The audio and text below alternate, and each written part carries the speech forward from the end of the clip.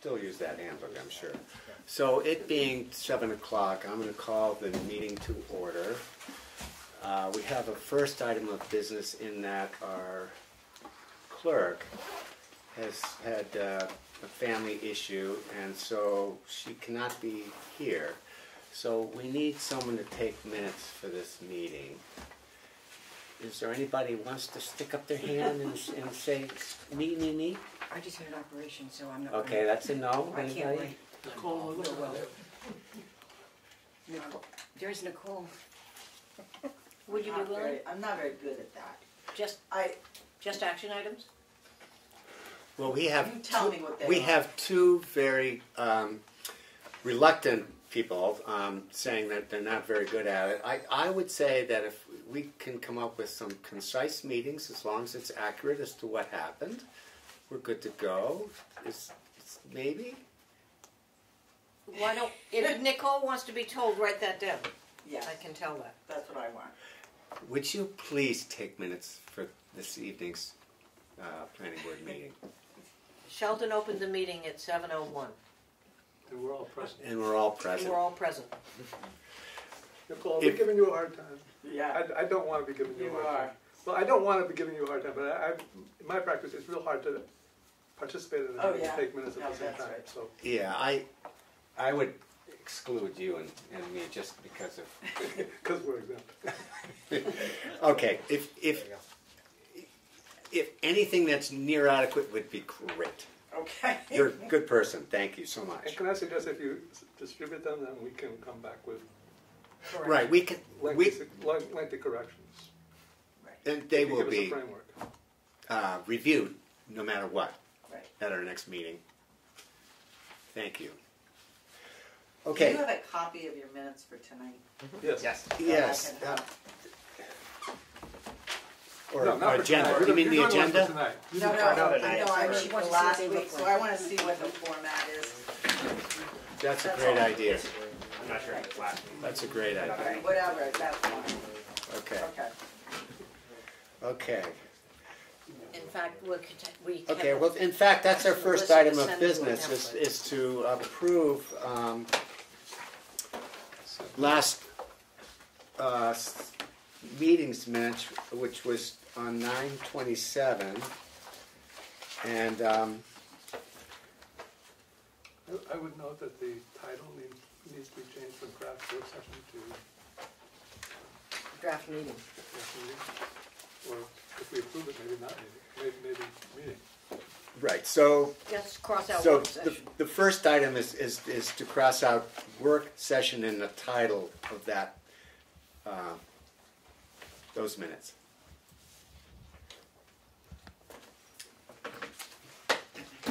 Is there anything else from the board as to, They looked right to me, and that was the meeting I ran. I wasn't there, so I guess I, I shouldn't say anything. Well, you can encourage com- comments.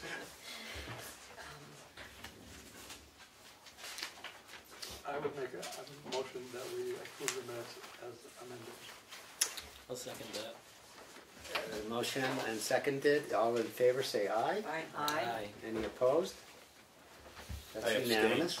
Oh, uh, I abstain, and so, um, and so does Da- uh, Dan Poirier abstain from that vote. Of course, I don't vote anyway, unless it's a tie. Uh, so, uh, then we have the minutes of our work session on October eleventh. I, I do have one comment. Um, under review maps, um, there, I, I seem to have made a note to, uh, Sheldon will contact, no, I'm sorry, perhaps two planning board members could meet with Mr. Jeffers and Jeff Hayes. I say, uh, omit and Jeff Hayes, because I think the meeting was really meant to be with Mr. Jeffers. Mhm.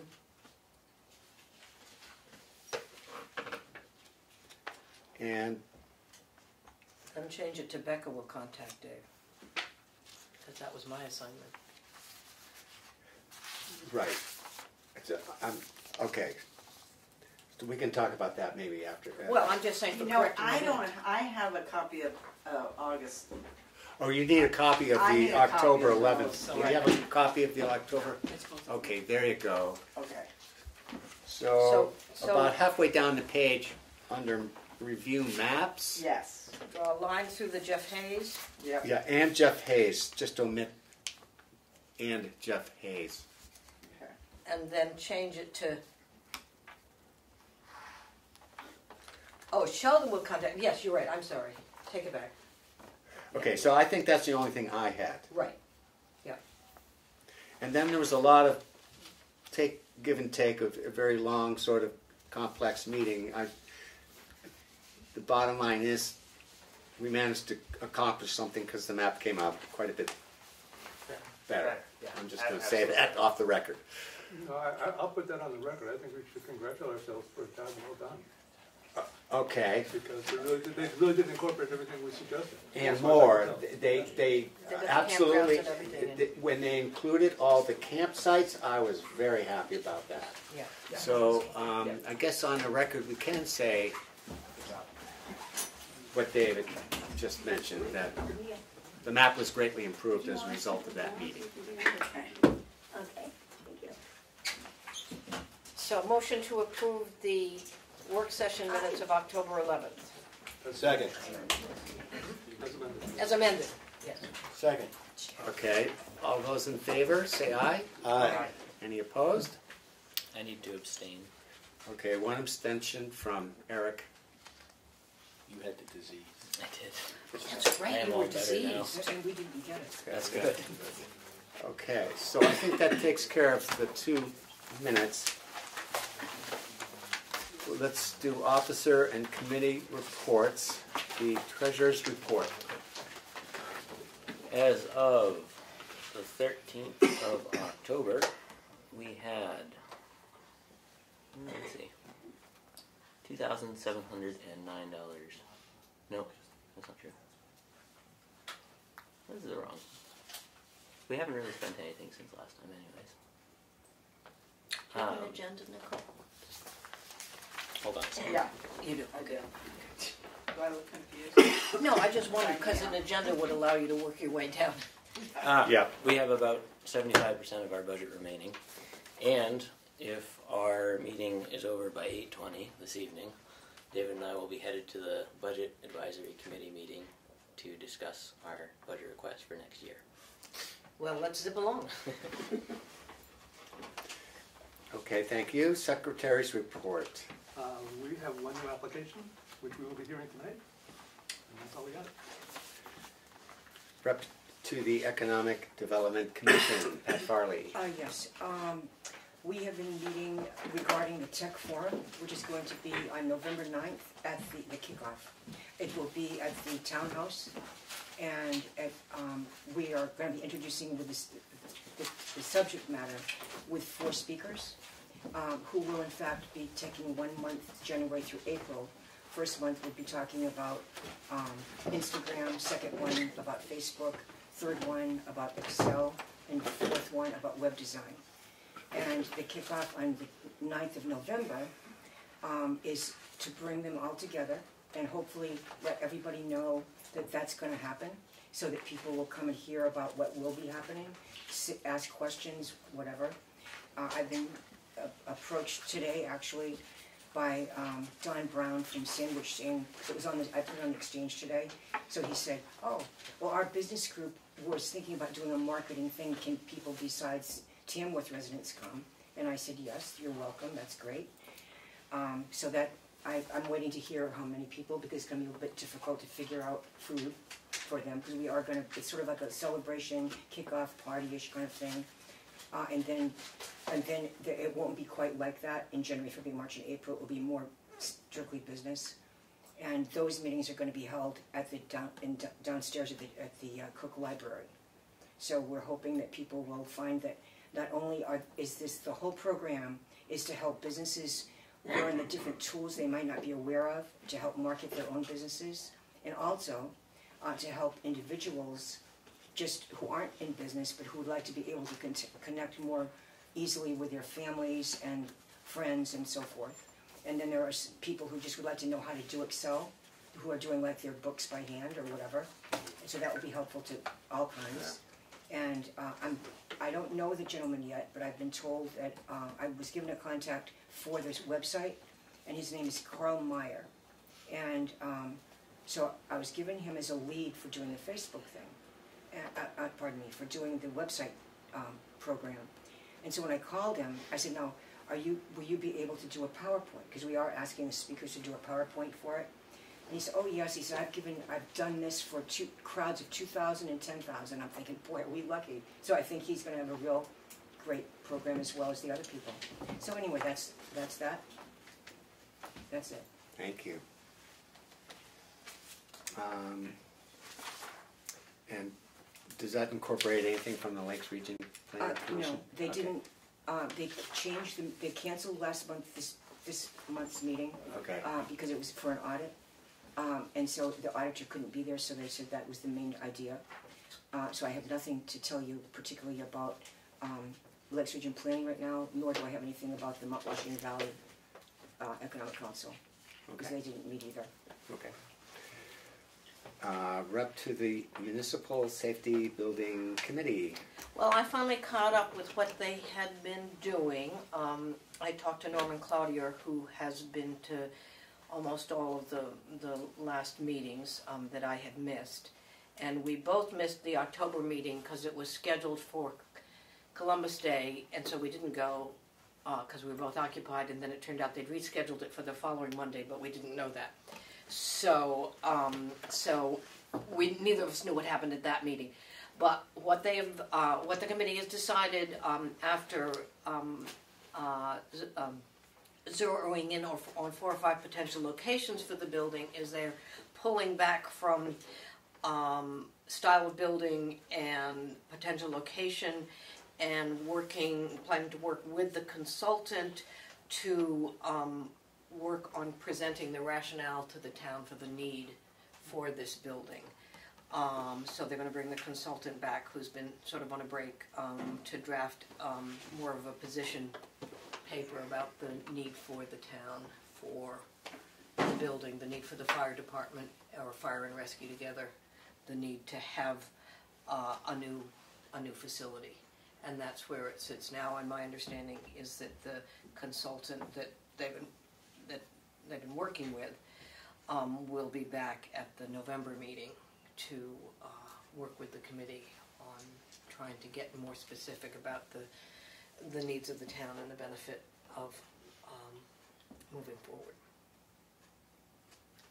Very good. I did go to the, Okay. last, the rescheduled meeting. Oh, It you wa- did? I did, it was sparsely attended, Uh-huh. and they did basically what Becca says. They're gonna invite Carl Biker back for the November meeting to address, putting together Okay. something for the town meeting.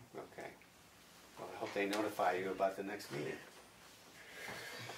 Um, Hazard mitigation planning. I put that on there because I attended, because it's planning, and I think the planning board ought to be involved. Okay, Um, The next meeting is eleven fourteen, and despite what the we- town website says, I believe it's one to three. So Jean, uh, so anyway, they- and it's one of those um, matching funds, you have to earn two thousand dollars, otherwise the town has to pay, and attending the meetings counts. So anybody who's available, I realize a lot of people work during the day, but if anybody's available, What was it in there? it's eleven fourteen, is that here? no, it's at the central fire station. Oh, Central, okay, so that's right. And so at the last meeting, they discussed, um, uh, basically hazard th- threats and town statistics. And at the next one, they're gonna go through planning for, um, the current plans and what they can, what, what is in, in place and what could be put in place to address the hazards. So, Then, I also got a copy of the previous um, hazard mitigation plan, which was rumored to be the source of town property information, and it's not. It's not, because it was, they weren't the, No, no, but but we got the copy from Lakes Region. Lakes Region did the last one, the current one is being done by a consultant, who seems to be a sole proprietor, but.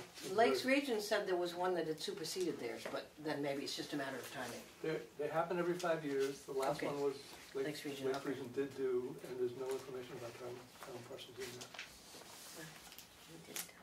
I Okay. did talk to Dave Jeffers, Very good. by the way. I was gonna report that, um, wherever you would like me to I, report I it. think that should come under new old business at- at the end of our meeting. Yep. If that makes sense. That Um, makes sense. Okay, uh, our selectmen's rep, anything? Uh, as you know, the new chief was sworn in on the thirteenth, it was a good showing. I'd like to put out the thanks to the community, it was very much supported by the community. The new sergeant should be on board by next week, New sergeant, excuse me? new sergeant, Yes, Who is that? Um, was that advertised? no? As you know, the old sergeant resigned, effective date the thirteenth. And the chief put out feelers and a recruit came forward.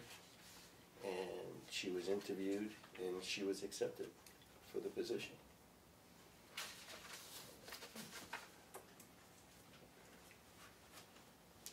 Uh, Okay, is there anything else that, no? I mean, that's notable, but, That is, uh, when, is- when, when will that become? I think that they're waiting on her being able to inform her chain of command that she's accepted a new position before we're going to give out the name. But that will become, I believe at the next election, it'll become publicly recognized or announced. And then we've got the advi- the advisory budget committee that's already started, as you know, that you That's guys tonight. go there tonight. So that's the biggest items right now. right, that's a big item. Okay, and the rep to the Conservation Commission. Sure. We had a very light meeting this month. We're all working on easement monitoring 'cause this is the best time of year to do it. The leaves aren't on the trees. And speaking of trees, we're planning to cut a few of them down because we're the Conservation Commission. Um, on uh, the trail at the top of Page Hill, we have a. I think it's in the deed that we can maintain a view looking towards Mount Chocorua and Chocorua Lake and it's grown up, so we're gonna do a little trimming. Is that from the fire tower, the view from the fire tower, or the, view- uh, the view from? The view from down? Page Hill.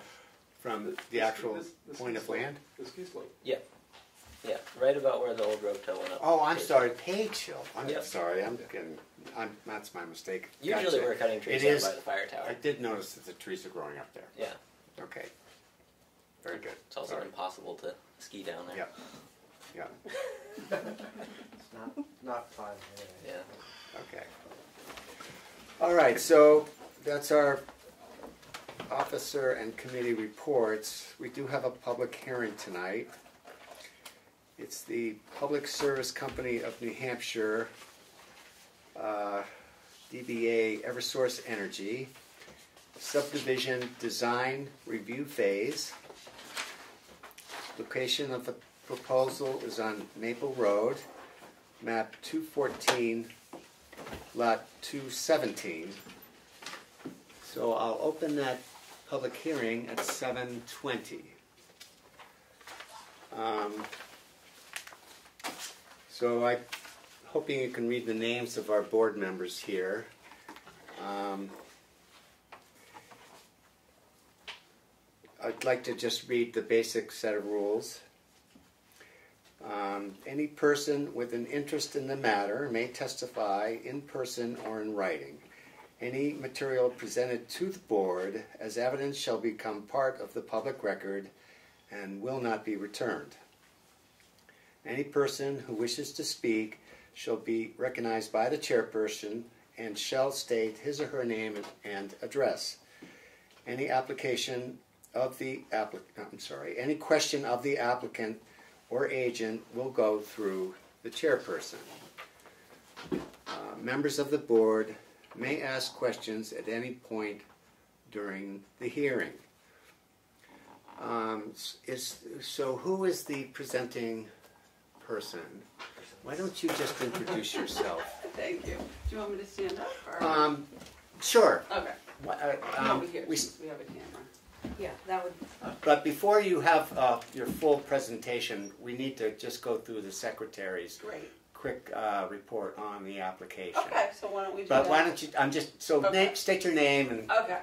My name is Donna Keeley, and I'm the Community Relations Specialist for this area. So um, Eversource, Public Service of New Hampshire, has community relations folks who handle the 211 communities that we serve, and this happens to be my area. So I'm introducing the folks um, that came tonight to present to you the subdivision. So we have Sean Southworth, who is with Survey and Engineering from Eversource, and Nick Golan, who's with TF Moran who is helping us to perform the survey work in the project. And they will be presenting the formal map and answering questions and such. okay, thank you. You're welcome. you might wanna help Nicole with name spelling since she's Okay. graciously sitting in Yeah. for us. Want me to write them down? Yeah, Yes. thank you for that. So do we have a report, secretary's report on the application? Yeah, so th- we received this application, it's at two eighty-nine Maple Road, it's two point two acres with three hundred and fifteen feet of frontage. Um, There's, n- the requirements for design phase are pretty minimal, they can bring anything that they like.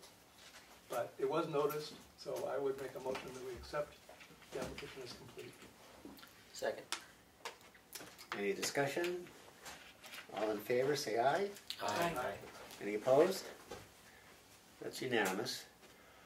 Okay, so um, why don't you go through your presentation? If, if, if there is a map, um, we should facilitate showing that map. Where would you like it? Um, That one right there. Why don't we set up these easels in advance sometime? That would be a good move. Okay. The- board does have one copy. Do you guys have a copy? We- we Uh, have one we- we do Eleven by have- seventeens, that we can hand them out, everybody can have one? If you have, That would be brilliant. that would be great. Thank you try so and much. Plan ahead to accommodate. 11 by 17, that's perfect. Thank you. If we put Thank you for that. about from up here and Pat Bill her chairs, everybody else can go through the face. Can can I suggest that you give these to some audience members and I'll Sure. look at the live side? I believe I've made enough, great. if there are some folks in the audience who would like one as well. I'm sure that there are. All right, let me hand deliver. Thank you so much. There. Maybe, maybe, maybe, maybe I don't need it. No, I love it. Nice, plan that right. Good planning.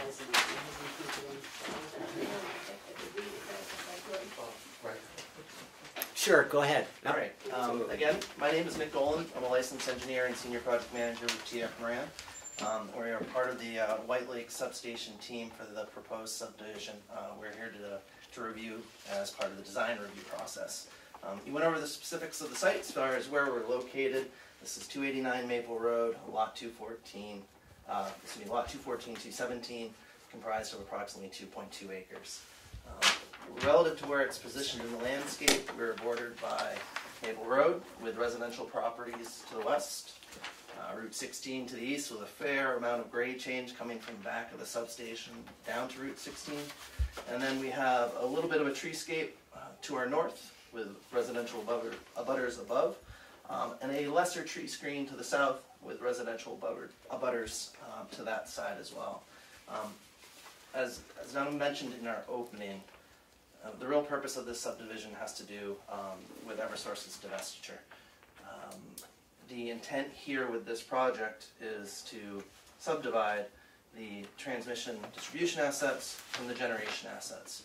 Um, I'm not sure if anybody's been following it in news or otherwise, um, but this is kind of the culmination of, of that process.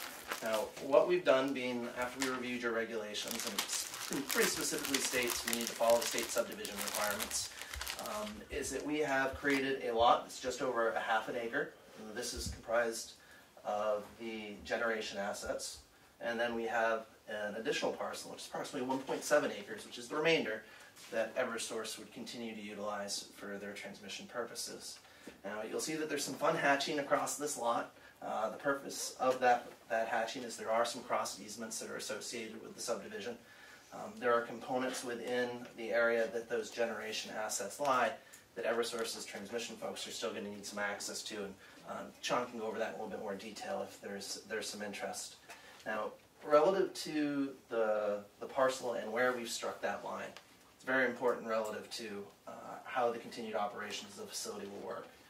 We have located that property line uh, approximately 105 feet from the southwest corner, uh, remaining approximately just under 200 feet uh, for the remainder of the lot. And why we selected that location is where the driveway is. Provides a nice common point of demarcation, and it also provides a nice common de- uh, demarcation for the, the location of those generation assets. So the generation assets are located wholly within this portion. So when we think about, well, why are we striking a line here? It doesn't meet the subdivision regulations as far as the um, minimum 200 feet. It's for that purpose. It's providing the best location relative to the existing assets within the yard. These are existing electrical components. Um, has anyone had the opportunity to drive by the substation or generally familiar with the area? Yep. Okay, great. So you guys are educated as to what we have out there. It's a, it is a built environment. It- Would it be at all helpful for you to maybe Just delineate the line with a highlight of some be happy sort? to. I mean, it could be a green, I mean, I don't know if that's Certainly. adequate enough, but that might be helpful. I usually come prepared enough to have some highlighters in my bag, so we'll, we can check there otherwise. So let's, let's do this just for uh, purposes of letting everybody see this a little more clearly.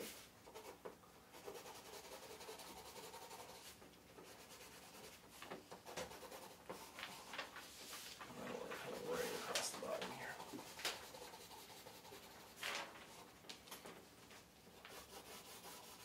So the area which I'm highlighting right now, that's the half acre that would be conveyed to the future buyer, or Thank you. to the current buyer.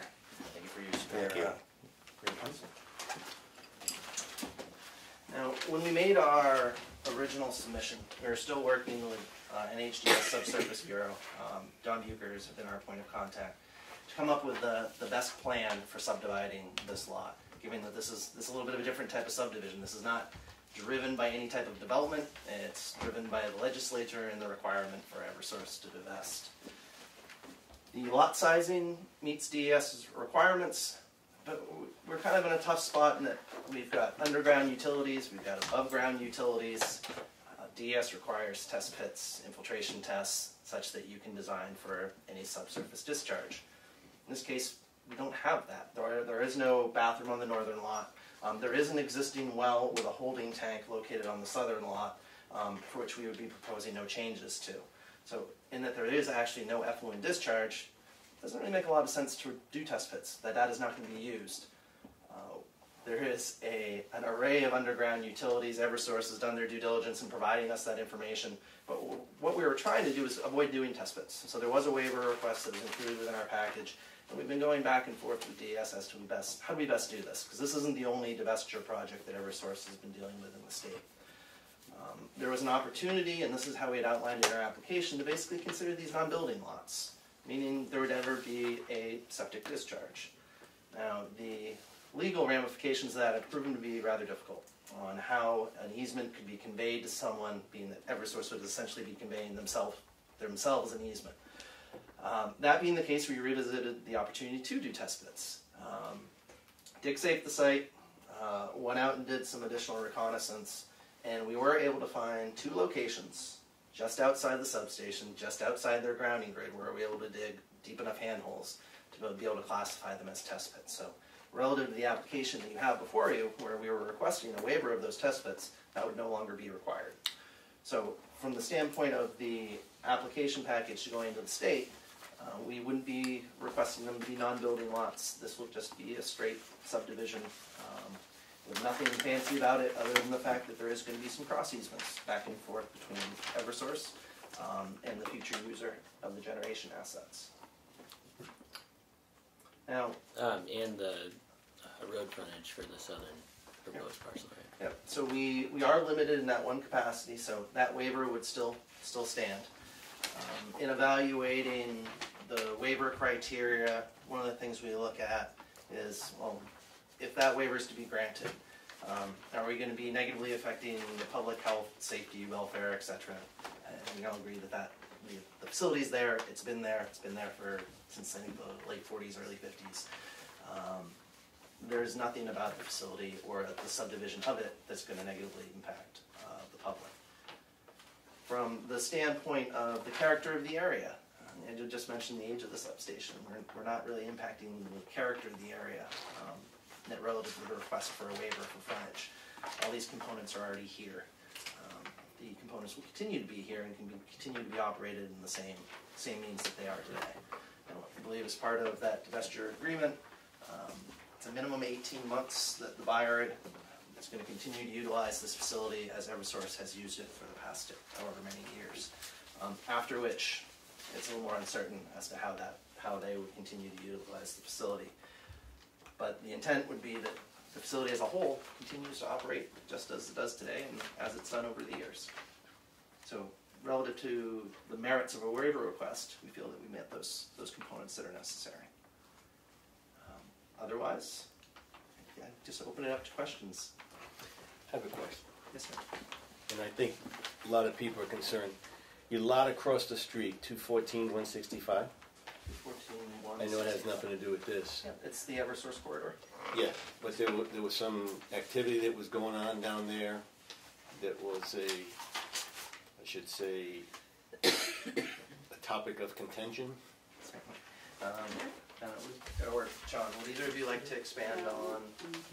Are you speaking, I don't, I'm not sure what you're speaking about. Can you elaborate a little? Yeah, there was, uh, at your other site across the street, is that gonna have any impact on what's going on here?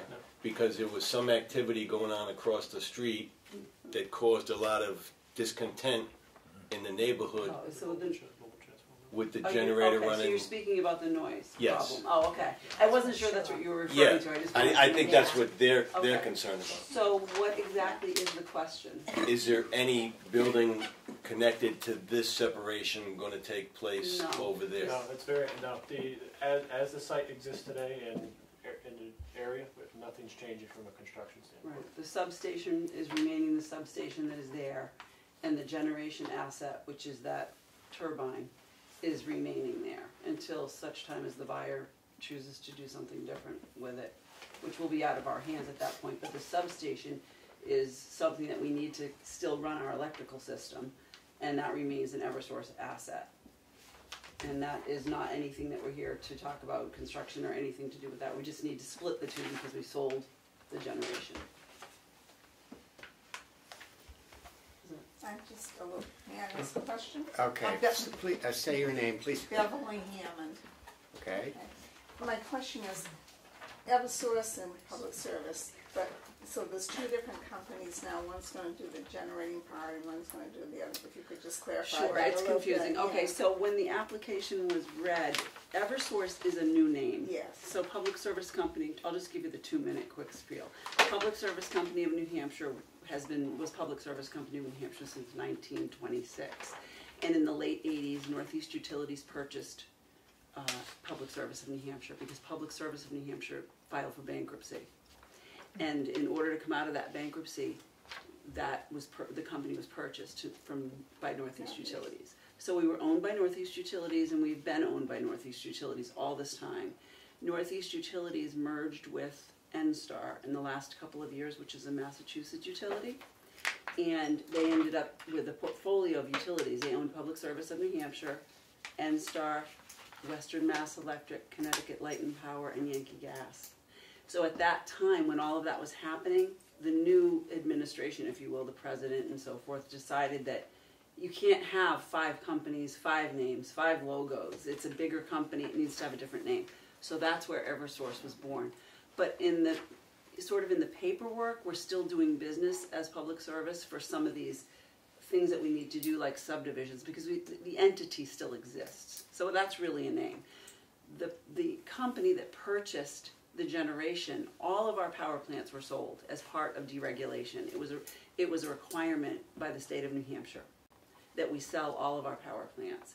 And we're one of the last utilities that even owns power plants. So we're really just sort of the last one to do this. So we were mandated to do this. So this was sort of a culmination of something that happened in New Hampshire government.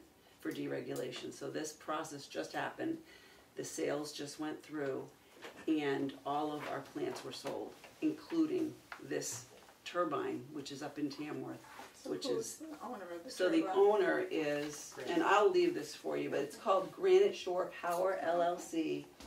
Which is a newly formed partnership between Atlas Holdings of Greenwich, Connecticut, and Castleton Commodities International of Stamford, Connecticut.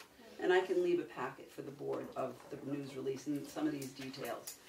So they own this, plus they own all our, all our fossil plants, so, so all the, the power plants on the seacoast, Bow Power Plant, so they purchased all of it as sort of a package. So they will now be the owner of that one piece of equipment. We will still own the substation because we need that to connect into our system, so our customers have power. Not that- us, excuse me, not us. Massachusetts and Connecticut and all those places get their power from White Lake Sub. We do not. I can't, I can't speak to I that mean, as to. No, no, we Excuse do me, not, they've already you- told us. Um, sorry. Um, I'm Well, not, Why don't you finish your, so that was, that's You're- basically the okay. explanation, if that makes It sense. does, thank okay, you. and, Okay. okay, so who else has a, a question?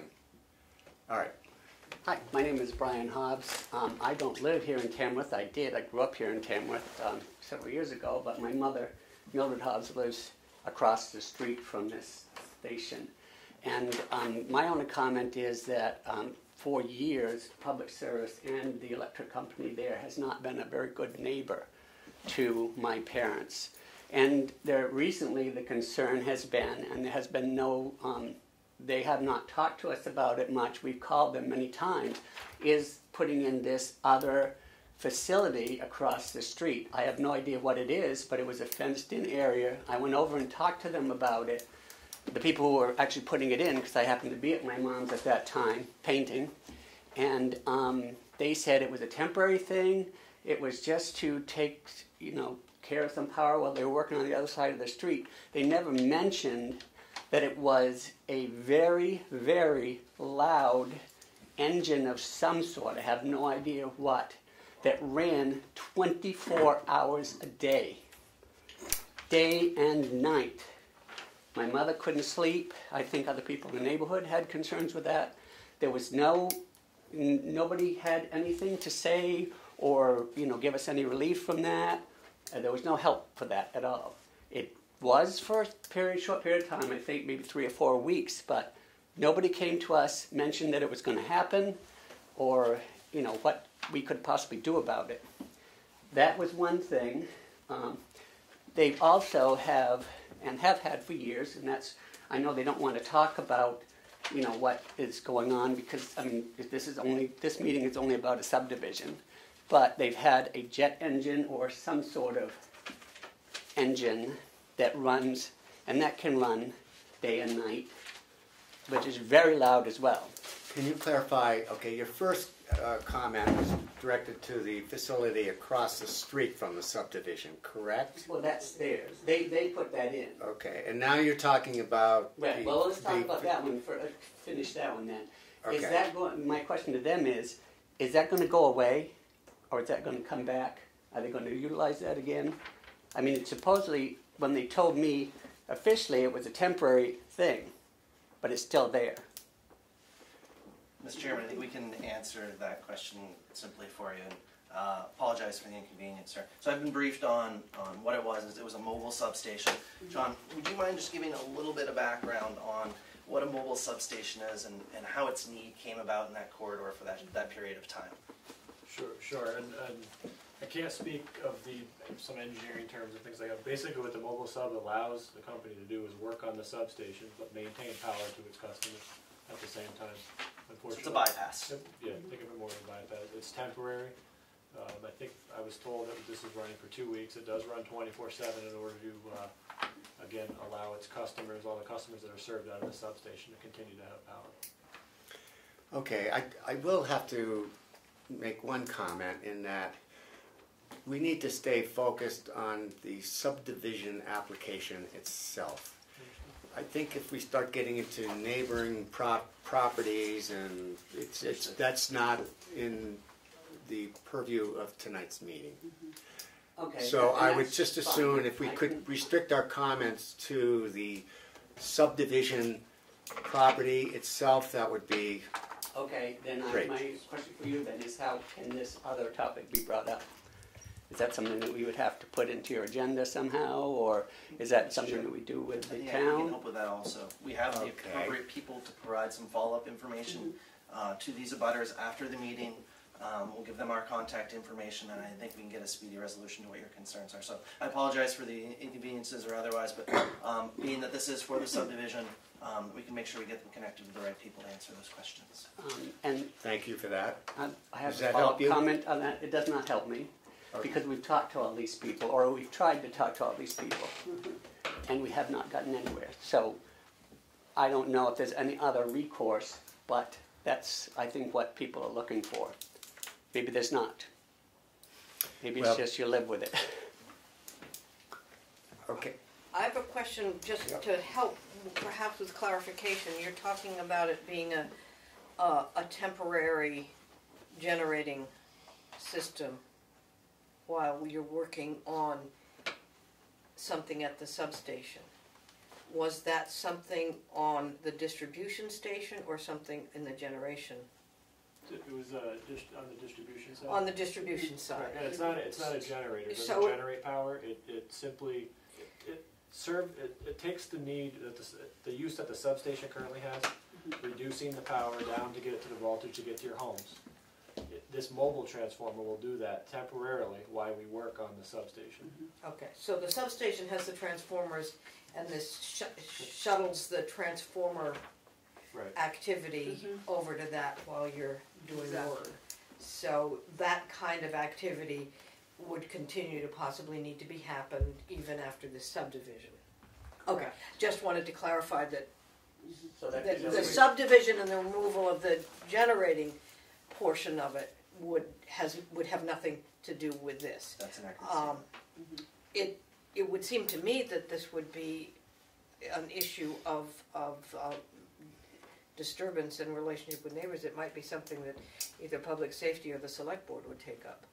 I don't think it's a planning board issue, from my experience serving on a planning Yeah, board. it- I don't think we have any tools, I mean, anyone else on the planning board could jump in, but I don't think we have any tools to help you resolve the issue of, um, temporary activities that a utility has to have, um, and, and how they might notify neighbors and inform them.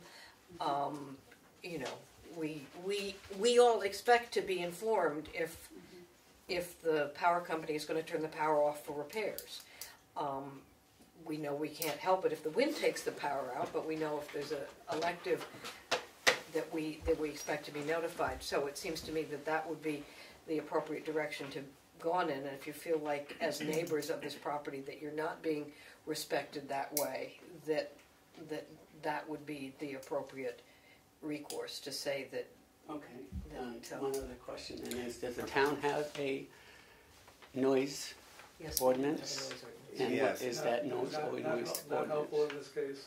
Yeah, it's, And No. I, I, I have to agree with Becca, I don't think we have any tools to help you, I, but I recognize you've got a Yeah, I- I'm, concern. I'm just, I'm sorry, I'm just asking that question Right. because I did not know the answer to that, so My, my, my suggestion is that the select board is probably the appropriate people to help you.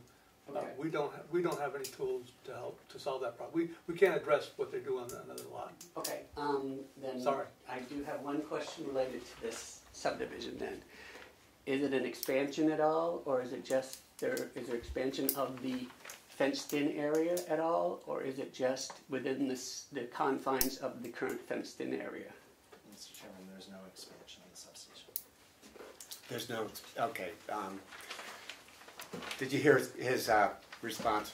There's no expansion of the substation as existing today. Okay, is there additional, um, Mr. Chairman, let me help, I think I can expand on my response and maybe help provide Please more do. of here. Um, What you see on this plan right now, if the planning board chooses to subdivide this property outside of a couple monuments, it will look this way when we're done. No changes, no changes to the equipment, no changes to the use. So, um, to that end, uh, will there be monuments set to delineate that uh, Which is property one of the line? items that we also want to discuss with the board this evening. Now, along, um, um, are we comfortable with those Uh, responses? before I Well, move on? okay, before we move on to that, um, is there any I'll- I'll make questions note to come relating to that. to what you were commenting on? Further discussion on that portion? Mr. Chairman, I wanted to, before you close the loop, I'll close the loop with just some information. so Okay, then we'll get- all right, As that's- long as. If you would like. Is it Hobbs, I'm sorry. Yes. Okay, so back, we did get a concern from a neighbor. I received the complaint from Darlene here in the town hall. So she called me and said that there was a concern from a neighbor, the Hobbs, and what did I know about it, which I promptly told her what I knew about it. I knew that this mobile sub was there, and I explained what was happening. And called the daughter, I believe. I don't think I spoke with you, I spoke with a woman who said that she was the daughter of Mrs. Hobbs and explained what was happening and when the mobile device would be removed. I called her back and gave her that information. I followed up with Darlene and gave her that information. And I just wanted you to know that that communication did happen. But whatever go, happens going forward, we'd be more than happy to speak with the board and discuss this in a lot more detail at the appropriate meeting. Okay, Okay? thank you. I have a Thank you. question. Did, I didn't hear it, maybe, or I missed it, but, um, when is there a plan to remove the mobile device? It's, go- it's been removed. It has gone. It was removed a few days after we received the call. Okay. call. It's not. Like about a week after, I got the call at the end of September, and I think it was removed the following Sunday or Friday. I'm not sure what, excuse me, I'm not sure what they're talking about, what's a mobile device, but that facility is not removed. Oh, sorry, not operating. Did, sorry, not, There's a no longer difference. operating. I don't, if it's still there, then. So it's no longer operating, but it could, in the future, temporarily be operated? Question? It's used when we need to maintain the Okay. substation. So that's a mm-hmm. yes. So yes. that Okay, is yes. Yeah, Okay. Maintenance is required, so it will be. Okay. It, it will be, it will be, So we can talk about this. yes, because of maintenance reasons, all right. Mm-hmm. Uh, you wanted to move on, uh, I think we're ready to move on to monuments of some sort, all right. All right. In regards to the, the layout of the property, um, monumenting the westerly side at Maple Road makes a lot of sense. Monumenting uh, the east side at its terminus uh, along Route 16 makes a lot of sense. Placing monuments within the electrified substation, um, not as much so. So we did want to ask for a waiver of that criteria to not locate monuments within the electrified substation. Um, if it's a concern not to have any monumentation interior to the substation, we could look at a couple different things, whether we try and do uh, a tie course from uh, one of the concrete pads that's located there, or if we just provide some additional dimensioning um, to show what the distances are from some of the existing electrical equipment.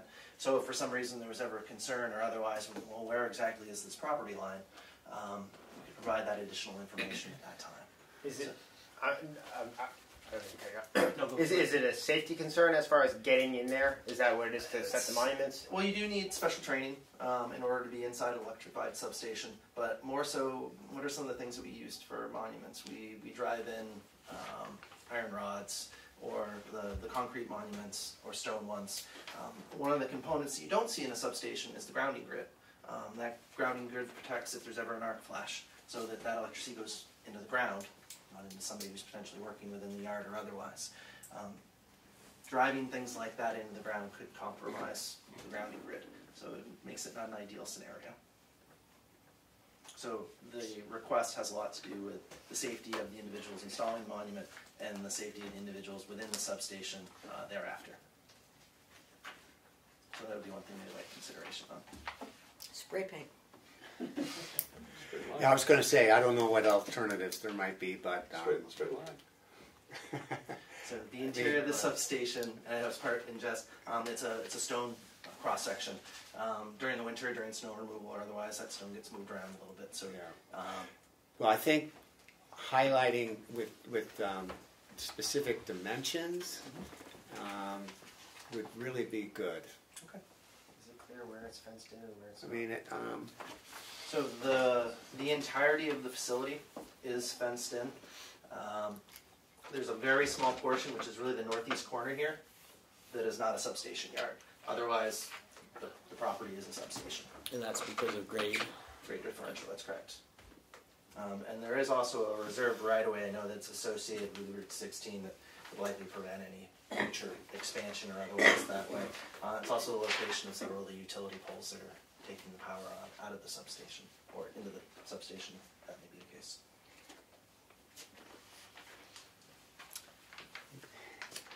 Are there any other questions from, I have, okay, Pat? what, what would be the impact if this were not approved? Well, that question is probably something I'm not capable of answering. Um, and I'm not sure that Eversource has a factory answer to that either. Um, I'm not sure, Mr. Chairman, if that's a, something you want us to venture a response on. Um, let's put it this way, um, at, at some point, we're I know gonna that's a have. tricky question to ask any applicant, more or less, um, for this. Yes. I thought was Um, great. I think that's, I think that's a good question. I, I, I think it's an excellent question, and it seems like it's a question that a lawyer would have to be addressing, and not anybody necessarily from I your. want to step out of your- my shoes as engineer surveyor in this case and answer Yeah, a lawyer that, question. that, um, I- I think as, as the board, we just have to weigh the application as is and, and make a decision. Um, the result of that decision is another step. Well, well, I, I, I- I think in, maybe in keeping with that line of questioning, we, we, I guess my thought is, we as a board need to be convinced of a good, good reasons why we should approve a subdivision that creates a, a sub, a substandard lot, a non-conforming lot, which is what we would be, and, not, not to, not to say anything, but someone else's financial obligations, that's not, that's not our problem.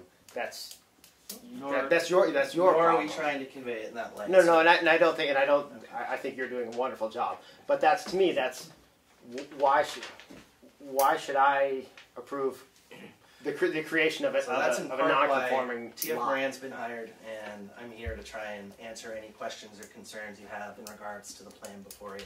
I tried to elaborate a little bit when we talked about the frontage. Did- What are some of the things job. that we have to really think about when we're talking about frontage? Um, the monuments, why would it make sense not to install some of these? Um, but this is a feedback session, so we, we love the fact that you guys have this within your regulations, that we can come in, just kind of chit chat about what it is we're trying to accomplish, and Yeah. find the best way to make it work, and if there isn't, then we hear that from you, instead of going any further down the road. Well, um, so just, just to make one point, I mean, there is no decision that's being made here tonight. Correct. Just so everybody knows. Um, this is a design review phase and, uh, decision comes later if, once we have a, a, a complete, uh, application for the, for the subdivision. Okay, um, Becca. I'm, I'm maybe sounding really stupid here, but I'm trying to understand what the ebb and flow of energy and stuff is here, because we've got, we've got power lines, and we've got a generating station. Um, and up until the state decision, they were joined at the hip. Um, is the power that PSNH, e.g. Eversource, using running through these lines coming from this station? That's an excellent question. Now, John, do you have that information available to you as far as what components are doing what out here? I could, all I could say is that, that at times, so when, when ISO New England requests, um, additional power, peaking power they call it, this generator will be request to fire off, and it'll generate power, and it just helps in times of really high energy use, area energy use. This, this whole, No, just the southerly portion. this, Yeah. that, this whole generation thing is only used when the Eversource tr- lines are calling for extra? Correct. Mm-hmm. It's a not, peak- It's a peaking unit. it's a, pe- it's a, pe- thank you. And to Nice to know the phrase. So it's a peaking unit, so that means that it, it provides energy when it's called on. Correct. And it's called on to feed into the network starting right here. So right now, when you call on it, it's yours and you use it. in the future, when you call on it, you're gonna have to buy the power from the other company. Right, separate from this discussion, the way it's going to work, because we don't own our generation, Right, we will buy power on the open market, just like all the other utilities do. right, And we will buy that power for our customers. Right. Exactly. Yeah. Yeah, Including from my solar panels. Right? So, so the, the, the state of this sale, is this been sold? They have been sold, it's at the Public Utilities Commission, so they need to approve it, and that is expected to happen before the end of the year. And when you, I'll give you the information in the packet, but yes, Okay, It has because been. it seems sequentially that you would want to have an approved subdivision before you Well- sell something. Those guys from It's- Connecticut, they'll buy something that's, It's a, it, it's under a purchase and sale agreement. correct. Um, it hasn't actually, a deed, a, a deed transfer actually hasn't, hasn't taken place yet. PUC needs to approve it, and then the deed transfer will take place. But I the mean, is action that, of the is that sale- on But condition that- that's- of an approval for a That has to be- subdivision? That can't, that can't happen without our approval, though. It, it, this, the sale of this, of this generation asset, um, is not based on the condition of approval of the subdivision. they're not, The new, the new buyers know the fact that we're going for a subdivision, um, and they also know the, um, business risk of, of it not being approved. They understand that we're asking for waivers. so you can sell, you can divest, I'm sorry, but again, a clarification. You, Eversource can divest of its generation plants without divesting of the land under them. Or without Sounds subdividing. like condominium. You can, like- you can actually sell this plant and all its workings and still own the land. Or, well, and, and still, not still own the land, um, and not subdivide it. You're right. It's kind of like it's in some aspects. It's kind of like a condo. Like, But that's, I, but you do can't, you own the can't, space and my couch that I'm sitting on? Yes, but I don't own my It's but yard. that's, that kind of condominium is a Yeah. subdivision that So, re- re- re- Again, would our, require our effort approval. here is to try and make things run smoothly after or as the sale takes place, such that the generation user has their space. It's like being good neighbors, and the transmission uh, distribution portion has their space. Now, there's certain areas that we called out where easements are where we share. The, the areas that don't have that, well, there's no sharing. That's their space. Okay, Um, just trying to understand. so the, the condo, uh, the comparison is actually great. It'd be like your neighbor just walking into your house and be like, "What? It's a condo. I can, I can come in here too." It wouldn't work that way. Uh, you would want to have your own space, and that's Okay. what the intent would be. Uh, Yeah, and I, I- I guess I, I from g- g- looking at things from your end to this end, it, it, ma- it makes perfect sense, and it's, a, it's to, it, to my mind, it's a wonderful presentation, but it's. I, I, I, at least me, I, I'm not, I'm not convinced of why we Need to subdivide. need to need, need to need to approve this, and that there are other sort of, unfortunately, not like there's boy, there are a lot of assumptions being made. It seems, as if this is almost a foregone conclusion, which oh. I don't. no means are we trying to supersede the authority of the board. So maybe if I can bring it back to, uh, I think it was one of our first questions. Um, what are your concerns with the subdivision? Well, one, I mean, me, me personally, it's you're asking us to, to, to create a non-conforming lot. Relative, so the, the frontage waiver is a concern. That's one thing, and, and, And also it's yeah. Well, the, the lot size conforms. So the size of the lot that's proposed meets your regulations. Can I, can I, ask, it, it- it's Colton Soils, Uh, as far as the, it's a, it's a, it's a mix, but yeah, I believe primarily that's what so the that would be RCS thirty is. that would be thirty thousand feet minimum. Um, the state's requirement for this is twenty thousand But, but, No. but, but if What- you're, if you're asking about our regulations, it's thirty. Um, where, did, where does the twenty thousand come from? that comes from uh, NHDES regulations, uh, which is ENVWQ one thousand. May I, This is um, a due diligence report that TF Moran prepared, just so we could better understand the law. Um, but I'd be happy to send some in- additional information to the chair as far as how we derived. You know what would actually probably be helpful? Um, I can provide you our lot loading calculations Yes, to show please. this is what we did. Um, as part of the design development phase, we thought we'd show you what we're looking for, what some potential waivers were. Um, but relative to the area of this lot, it entirely conforms. I do have a dimensional issue though with What- that frontage. I, I can't I can't So, think of I, I can't think of a situation other than off-site loading as far as septic capacity where 20,000 square feet comes into play. Um, more of city type lots, like obviously around here Right, we have with- much with- larger lots. We have With off, with o- offsite, Um, offsite septic. So I had the opportunity to I- I- work I on don't- a very large warehouse I don't see project in Bow, New Hampshire. And That's it's what- hundreds yeah, of thousands agree, of square feet, yet the flow requirements are only three hundred, just between 300 and 600 gallons per day, Where- which, th- a twenty thousand lot, thousand square foot but lot. we're talking, we're talking about a subdivision, we're talking about the creation of a lot, which by, uh, you know, by definition has to be a buildable lot. Yes. And twenty thousand square feet doesn't, So I Doesn't- don't want to give misinformation. The information that our engineers have compiled and surveyors compiled show that this is a buildable lot by state standards. We have been reviewing it with the Subsurface Bureau. They have our calculations. They review them. did they There's approve no- that? But, but, We haven't made a formal submission yet, sir. but can, can I just say, we, we're, we don't, we have separate regulations in the state. So we, we have a slope and, s- a lot size by slope and soil, and it's, the minimum is thirty thousand square feet for group A.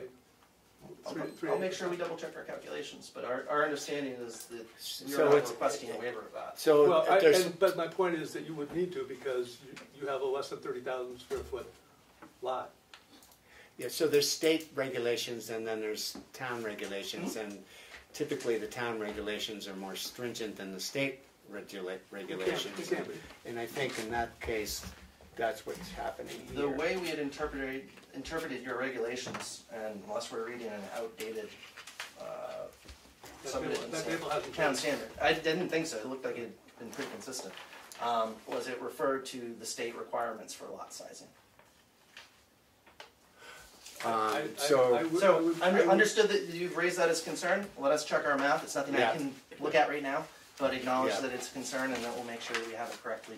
So it's Schedule A in our, I mean, there's this- it's Schedule A in our uh, subdivision regulations. Yeah, I So, I mean, I've got, I don't, again, it's not an attack on you, but I, I mean, I've, I've got this, these, this is the state regulations here, and it's thirty thousand square feet. We will double check. our Unless math. we're dealing with off-site So, septic, which, which. The other thing I as guess far as I it's, we're, we're it's not. important to, to think about, there's actually no effluent load. I that's know, but, created. but you're, But you- what, you're, understood. you're asking us to create a lot, which you're, you've given us a guarantee of, uh, I think you said, Year and a half. a year and a half, and then after a year and a half, it's not your problem, it's not your problem, it's potentially our problem. Anything could be done on that lot. We have no idea what We the have no guys idea. who buy it are gonna do with it. They could, right, they could, within eighteen months, it could be sold, and who knows? So as- And now, and now we're on the hook as, as having okayed the creation of this non-conforming lot, which we then don't really have any Well, I'll be, Control. Over. I guess I wanna be careful with calling it a non-conforming lot. It's, it's a waiver versus a variance, cause there's no zoning regulations, but your point is very much acknowledged, sir.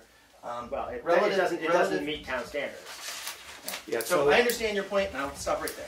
So I would just say, um, Appendix A of our subdivision regulations is worth reviewing and just, um, I think that needs to be brought into the mix. Um, I, I guess that would be another waiver if, if that was gonna be presented, um, for, to our town regulations. Um, Can I ask for a clarification? you sure may. Yes, indeed. Have you discussed three different possible waivers? Frontage, the waiver for the lot size, and the monuments? And Correct, And that's it, so so far. far? Yes. Okay. Are there any others? Well, we'll have to check on our lot size, it would appear. But the, I mean, I, I, I would say Acknowledged. personally, as far as the monumentation, that's you've. I, I'm okay. You've convinced me as to why. Yeah. You don't need to monument Yeah. those lines as long as it's very, you know, metes and bounds. Otherwise, are, are very clear. I'm. Yeah. I, I would be okay with that. I think when- when we consider waivers, um, obviously we, we're looking for, um, you know, an explicit reason why a waiver should be granted, but I think that, that in general terms, if you, if you relate it to the general health and welfare of the citizens of our town, that it's not gonna be detrimental to, you know, that essential fact and, and that, you know, there's some reasons that our organ, our regulations cannot be met in a reasonable way, certainly we're gonna listen to that. Um, one of the things we didn't do is, we didn't actually read our waiver request to you, and I don't know if every board member has that, would that be of any value to you? Uh, Well, You, I, right, so, so waivers aren't actually considered as part of the design review phase. but I'll it's- I acknowledge that you won't be making any motions or otherwise on it, It's but. to, it's totally appropriate to discuss them at, because of the nature of them, obviously.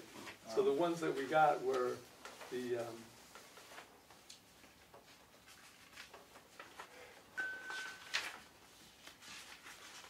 you can find, flip to the last. Yep. Um, it was relative to the frontage, uh, VIF seven D, uh, to provide 100 105.15 feet of frontage where two hundred feet is required. And, um, there's hundred ninety-four point eight three feet where two hundred feet is required. Um, if I may, I'll read it. Uh, Yes, I don't you wanna grind an act, though, I know you guys Yeah, have I, other I, business to you get know, let's as be well. explicit because I think it's important. That's why we're here tonight. All right, well, thank you. Uh, The location of the proposed subdivision line provides appropriate separation between existing substation equipment, appropriate for division of transmission and generation assets. Permitting this waiver will uphold the purpose and intent of the master plan and subdivision regulations, as it will not alter the essential character of the site, as both the uses and distances between them have already been defined. So that's where I was talking about the distance between different types of equipment. It will not threaten the public health, safety, or welfare, as appropriate safeguards currently exist within the existing operation of the public utility facility, and redefining the limits of the property line in order to accommodate the frontage requirement to divest Eversource's generation assets will not frustrate the purpose of the regulations, and that the overriding factor of public safety is observed. No, I, I, just as I'm looking at the, we, we sort of somewhat joked about condominiums. It, might that not be an a more pleasing option to actually have, well, this, these buildings are under separate ownership, but we're not actually creating a new lot, which in 18 months could, who knows what could happen.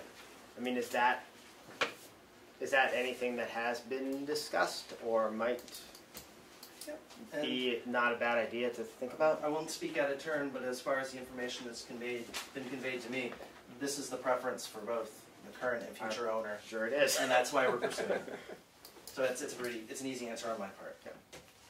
But it may be a consideration, uh, should the application not be approved, I, I, I would suggest. Yeah, it's, there's some going back to the drawing board type stuff. to Okay, Figure it uh, out. go ahead, Becca.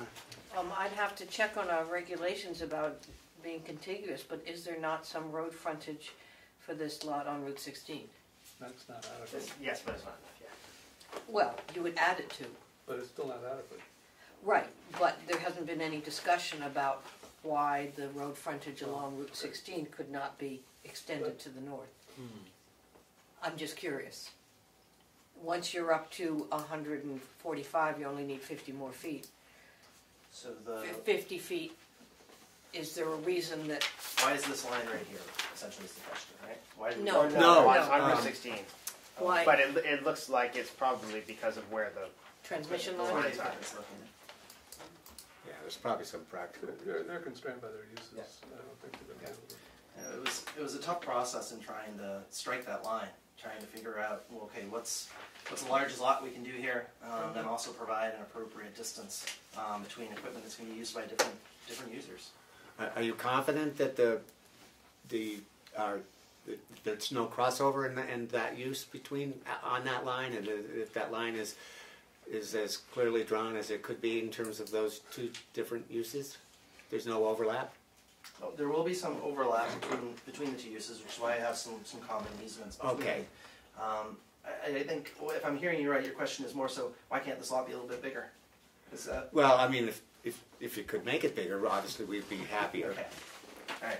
So that is a great point, and we will review that as a project team, the pros and cons of whether or not we could make this lot larger to better accommodate the board's request. Okay. So thank you for bringing that to our attention. And the easements, are they delineated in terms of, you know, as, as their numbers and spec- are they specifically, I mean, I should, They're each lettered and will have areas uh, associated with them. If You can see at the bottom, there's a proposed easement key. So you- Okay. What those hatches really mean and what the square footages are is, is the intent of that block. So, okay, so, can I, can I ask you a question about those? yeah. So, we're supposed to notify easement holders, are there any holders of any easements on this property at this point? Um, Not to my knowledge, no. Okay, so, so these aren't actual easements, These are proposed. these are proposed? Okay. Yes, sir. Okay, so, I just, I just question the, I understand that they're very essential to your client, but I, I question putting them on the plat. They could easily be removed. Um, when we read through the subdivision regulations, uh, we thought we saw that there was a, necessity to have easements indicated on a subdivision plan.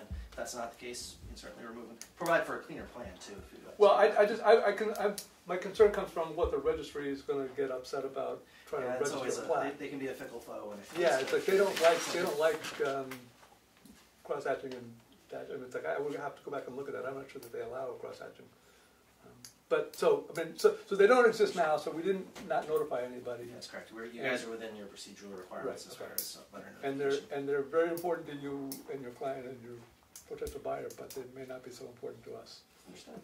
Okay. And then, and then I just, I, I guess I would echo Andy's, I, I think both lots are non-conforming based on frontage, and I think the, um, what we are calling A is non-conforming based on size. And I will also point out that your numbering needs to be consistent with our numbering, and I had A- caught that. I was A- actually A- hoping to get clarification on that. You- what- There was a sub-suffix that you guys like to use. It wasn't letter. uh, yeah, it's numbers, dominated. Like, we, we're not hexadecimal speakers, so it's, it's gotta be numbers. Um, If we follow up with your assessor, can we get the appropriate sequence that you guys are Yeah, looking for? one, one and two, dot one and dot two is, You got it. would work.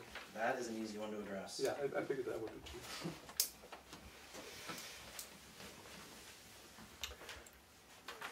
Okay, uh, is there any other comment from either the board or, or question, uh, from the public? Okay, um, hearing none, uh, uh, you're all set with your. I I think we've heard, maybe if I can just kind of reiterate some of the concerns to make sure we've got them appropriately addressed. Okay, Um, there's, there's a bit of a concern for, well, uh, the divestiture as a whole, what happens after 18 months. Um, and, and we'll try and talk as a project team how we can elaborate or otherwise as to the use of this facility. Um, the other item um, I heard was really the lot size um, and confirming that it is an area meeting the standards. And if it's not, that that's not something that you really feel comfortable with, and that you would like to see that lot being bigger. Um, the other item I heard is there is still there's a concern for the frontage. Um, that although we provided some background on why I thought we thought that would be appropriate for this use, I don't know that everyone feels entirely comfortable with it. So we'll, we'll try and do a little additional research on this lot, and maybe some of the surrounding lots, um, to get a better understanding of you know is this the whole area conf- conforming now. Um, do we have a lot of areas within the town that don't have 200 feet of frontage? Um, this is somewhat of a special lot in that it is an electrified substation. Um, we don't hold it to a different standard, we do have to recognize that it's been here for 60 years and it, it is different. So we'll make sure that we follow up uh, in regards to that. So we've got Schedule A to look at for the lots. We did talk about monuments. It seems as if we're on the right course there for monumenting the exteriors, but the interior would be something that we could uh, look beyond. Um, and the other waiver that we had requested in regards to the test pits, we've actually been able to conduct the test pits. So as long as the state's happy with the information that we're providing them, it sounds as if the town would be equally happy with that information. Am I reading that correctly? So, as far as Yeah, I, I, I think, I think, I think, I- I think I, I don't, I- I'm I'm not probably hearing- fine, but I don't know that we got enough. I would certainly like So- more information from the state as to, but you said that they haven't made their, you know, they haven't. So it's, it's Make almost seems like a decisions, yeah. case of, it'd be great to have the state review this, provide comments or an approval prior to this They- board acting on this. I think we, we, I think we need state approval before we can act on. Okay. Um, legislatively, uh, the, planning board can't hold up an approval waiting for a state approval. But we, we could But- make it conditional, we, we, we wouldn't. That- that's what I mean. Yeah, yeah, It- we wouldn't not hear it, but it would be conditional approval. Okay, I want to make sure I understood the, the, the relative statement. Um, but, okay, so we've got a little bit of homework to do. Um, Can can I just say one other comment? yes, sir. Don't waste your time looking for other non-conforming lots, because you'll find lots, because Okay. there were lots of stuff created before we had subdivision regulations at all. Okay. So you'll So it's find, acknowledged that the town in general, You'll find that a lot- 200 foot standard is not necessarily a hard and fast rule, but Well, thirty- the it's, thirty it's thousand desirable square and foot. desirable for a reason. It's that well, it, it, it's not. Every, every lot in town was, you know, we've got lots in you know in our town that were created, you know, 150 years ago. That's why we So- have subdivision. Right. So so just because there are lots that are. S- You know, So, not would be in would- keeping with be the neighborhood, that doesn't non-conforming mean that it's That's- okay. Exactly. That's, Okay. Well, well put, thank you. Okay. And I and I would Well, certainly. you want to focus on the right points. So, you know, I don't, I don't want to go and do a recent canvassing of the neighborhood and say, gosh, we had one 200 foot frontage lot out of 300. Um, and you guys say, well, I don't really care. It's, it's for this lot that's important. So, Well, yes. um, so we'll, we'll expand a little bit on you know, what's the purpose of frontage. You know, are we meeting that? Is there, is there a public safety issue or otherwise?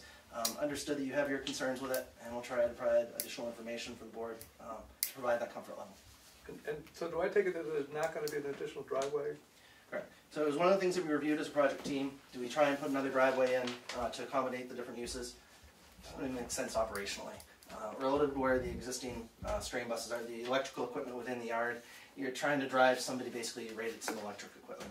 It doesn't make it doesn't make good sense. We keep the existing driveway, no tweaks. So as we mentioned in the opening, no changes to the facility outside of the monuments. Um, it just provides a better historic use of the property. We're being consistent. Uh, no need to, to try and add a driveway to create a conflict.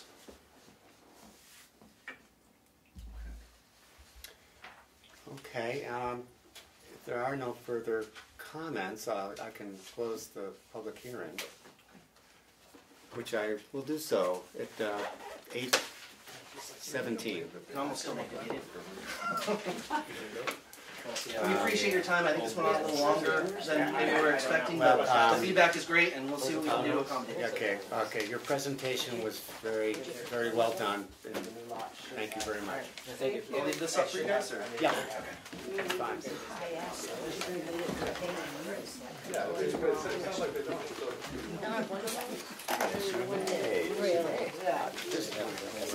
They never did answer my questions. You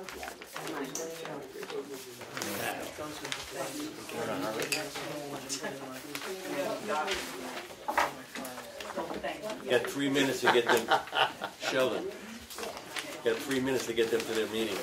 Okay, so how am I to handle that? Am I to, uh, we pretty much, if, if we have two members leaving, we pretty much, we still have a I'm, I'm quorum? gonna, yeah, I'm gonna stay because, or you can see Nicole. I could see Nicole, I guess that's true. Uh, Sheldon, I'm just reviewing this, it was the news release about the sale and just some other details, the public documents, so Yeah, you thank have you, it for your yeah, thank you, record. because I, that, I couldn't figure it out. Okay. Okay, thank you. And I did also send that to the town. That should be a part of the record too. Yeah, uh, can we put that in the? Yeah, this should be part of the record. Is that multiple copies? Is that multiple copies? There's two one? there, I'm gonna break out, I can break up some more, I think. I'll do it out here so you. I, I don't, no, I don't think, we do we need more than two? No, I don't, I think two is plenty. thank you, And there, appreciate it. there's a second one. Okay, so. I'll put both of them in the folder. They're both in there. so, uh, I can do my report real quick. So could I just, before we close that, so, so we do need to inform the applicant within ten writing, ten days. Um, At the public meeting, the board may determine that the design process of an application has ended and shall inform the applicant of- by writing within ten days. So we do need to send them something saying. Did we're we all done- finish? We're all done here. okay, well, And that, that's just, Well, that's if- from the RSA. um, so that's an official statement. Yeah, that, that the design review phase has ended. Okay, so. I Because we, because that- we, we, we could, we could, we could be requesting them to make additional studies or do something else. We did not, Okay, so. So that's, that's a me thing. Yeah, Okay, so we need a statement. I'll, I'll send you the RS, the quote from the RS, or you can just add this quote It from the RS. says, at a public meeting, the board may determine that the That's design review process of an application is ended. And shall inform the applicant in writing within ten days of such a determination. So you're saying we should determine Yeah, that? yeah, we, we should, we should decide that We didn't ask, we didn't ask them for any additional studies. We just said that would Right. need to be on the, The it should be. No, Is it- and so, ended. so we, we say, okay, this is Okay. great, now actually And it, come need- in it with your needs to proper be sent application and to we'll. the applicant. Right.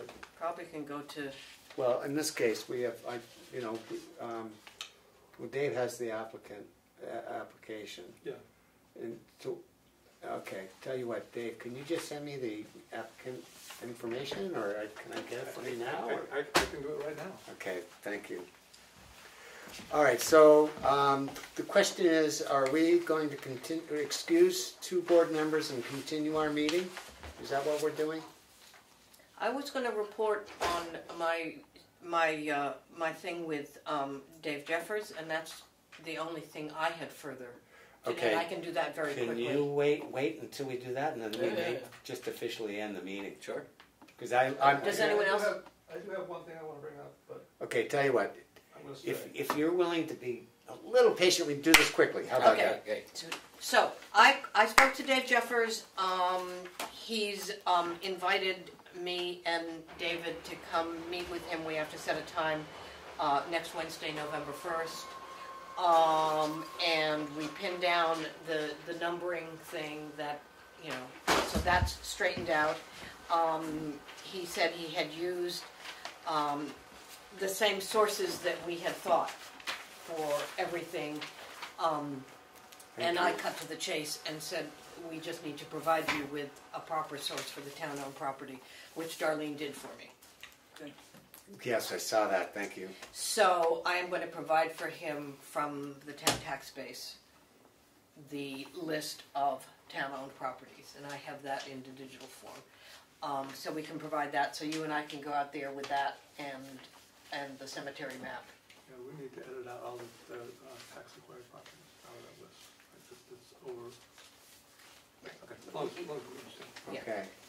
Well, that's great, I'm glad you're gonna get together. Um, We're making progress on that map, the ongoing map. Um, Okay, and, and that, that was, that was it. Um, okay, and David, you had something. Yeah, so I want to bring up something that I guess goes to the selectmen. So in reviewing this application, there's not a separate lot. There's not a separate tax record for map two, two fourteen, two seventeen. It got merged in with the power poles. And so there's no acreage involved. So I'm, I can't figure out how that works. Um, And it brought up a bigger question though, it's like, I asked Darlene about reconciling between changes to the tax maps and changes to the tax list. And it doesn't seem like that happens, um, which, there's a number of parcels where the tax map don't match the tax list, the numbering. Um, And, and there's a couple, there's at least a couple by PSNH where the, the one across the street, the two fourteen, um, one sixty-five, that doesn't show as a separate parcel. Would you say the tax map don't, Tax, the, the, the tax Don't map match. is, is missing certain items. There's no record for this parcel in the tax, on the tax cards. There's no separate tax card for this lot. It's mixed in It with got, somehow it got combined with the the power two, the corridor. two the two hundred dash zero dash three hundred, which is all the power poles. So we build, we, we tax them on the tower, power poles. I don't, I can't see that we've, We're taxing them on the land? no. Whoa. Hmm. And that, that just seems, so it would seem to me that you would reconcile that uh, how many acres I had in the town this year, after the changes, I still got the same number of acres, as opposed to some of them went missing. Um, good question, I'll find out. Yeah, so, Yeah. Might All be right. revenue. There you go. yeah, well, that's what I was thinking. Okay. Any other items before the board? Um, Motion to adjourn. Second. All in favor? Aye. Any opposed? Unanimous. Okay, there we go, we did it. Good job.